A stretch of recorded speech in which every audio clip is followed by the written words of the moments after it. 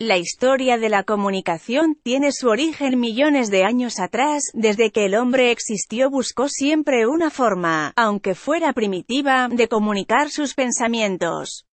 Al principio imitando los sonidos de los animales, luego creando su propio lenguaje. Hablar y comunicarse, dos tareas sencillas para muchos pero para algunos hacerlo ante un público simplemente parece imposible. Como el caso de Pablo Sesín, quien se ponía nervioso al hablar en público.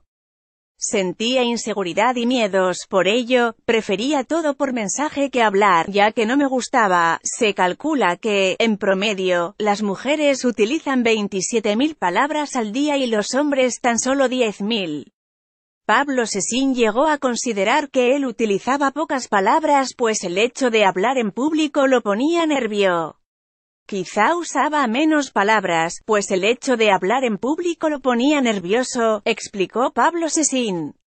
Llega un momento en que necesitamos el soltarnos al hablar en público, ya sea por la escuela o el trabajo, entonces yo empecé a hablar porque mi hermana me propuso entrar a un curso, ella me impulsó, comentó Pablo. Durante 12 semanas, Pablo se preparó para perder el miedo a la comunicación oral.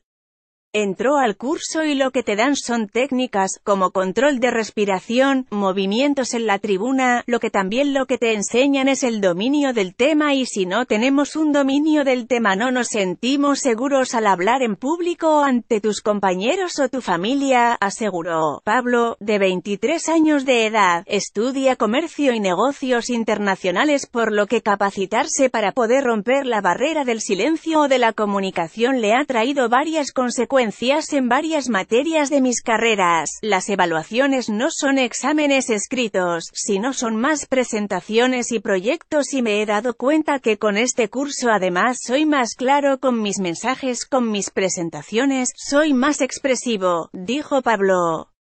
Pablo Sesín aseguró que hablar ante varias personas es una aptitud que siempre había tenido, pero que necesitaba aprender a desarrollarla. Ahora sí creo que ya les empiezas a dar un speech, ahora, si hablo, me sueltos, soy otro, señaló Pablo Sesín. Con información de Areli Melols.